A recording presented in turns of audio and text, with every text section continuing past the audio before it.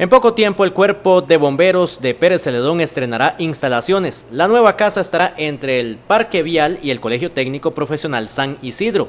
En este lugar ya comenzaron los movimientos de tierra para que la obra comience a levantarse en una combinación de espacio y modernidad. Para nosotros ya es una realidad, ¿verdad? Se supone que estamos, bueno, ya se inició, ya la adjudicación se dio, este, lo tiene una empresa aquí local y ya se empezaron con la remoción de tierras y todo eso. Creo que están finiquitando, ya son permisos de construcción, pero es mínimo, eso se supone que o sea, ya, ya se inició. Con las nuevas instalaciones también llegarían nuevos equipos para la estación de Pérez Celedón, lo que permitirá tener mayor cobertura de las emergencias que se producen en la zona.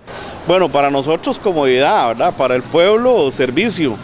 Este, una estación nueva viene con equipo nuevo, viene con más unidades, que es lo que el, cantón está ocupando, muchas unidades con, eh, pretendemos incluso llegar ya con lo que es unidades de rescate en un futuro y, es, empezar a proyectarse hacia lo que el cantón va creciendo, bomberos también tienen que crecer junto con ellos y empezar a dar el servicio de la mejor calidad, como siempre se ha hecho, pero más en grande. En este momento los bomberos se encuentran en el corazón de San Isidro del General.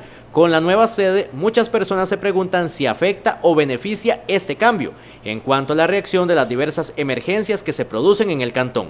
El encargado considera que la nueva posición beneficiará en gran medida. Eh, más bien este, es bueno porque el acceso va a ser al revés, venimos de la carretera interamericana ingresando al, casco urbano, eh, más bien se nos facilita.